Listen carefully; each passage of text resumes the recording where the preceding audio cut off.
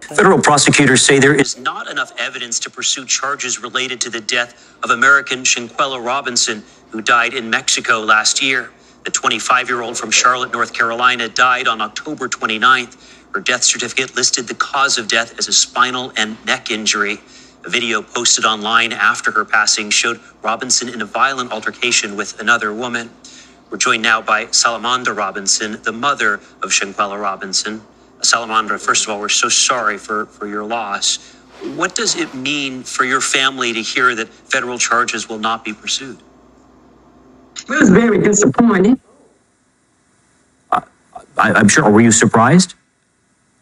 No, but I was disappointed because the simple fact is that they had enough evidence due to the the um, video that was online, and um, they said it wasn't enough evidence, but I don't believe. And then they said she, they don't know what was the cause of her death, but the cause of her death was due to the fight, from what we could see.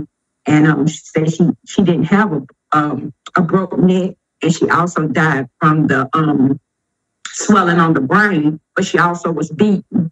So you can give me a um, you know, uh, I feel that someone should have been arrested due to that you know, but um, they trying to say that it didn't. So I might have to have her body exhumed because we want we need another autopsy.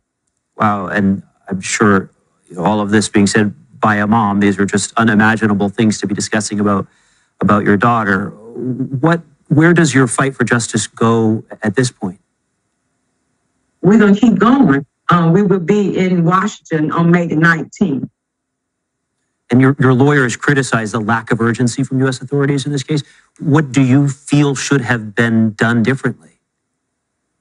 I feel that they should have took this case and took it serious when it first happened. They didn't um, step up to the plate and do what they needed to do from the very beginning. They said it was out of their their um, hands, but it looked like to me they didn't try to do anything, and they really failed my family. You know, as being the FBI and the, um, the government here, we has really been failed you know, because um, my daughter didn't deserve to die like that. And um, brother was in Mexico wherever it was. And, it, and they need to make a law let people know that you can't go out of town and do nothing to someone and come back and think that you's okay with it. You know, there was a video, everybody seen the video.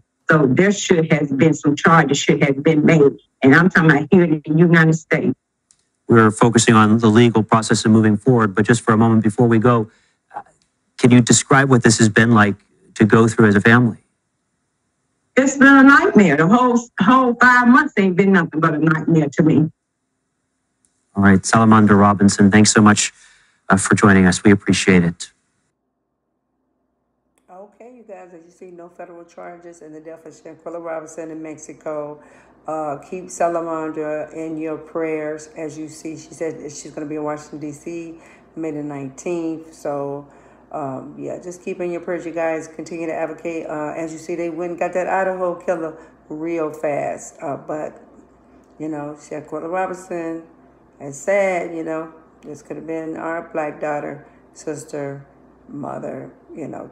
It's, it's sad. But, all right, you guys. Um, I'll keep you updated. And I'm going to start commentating, too, on other uh, videos as well. So I promise to upload more often. I'm out.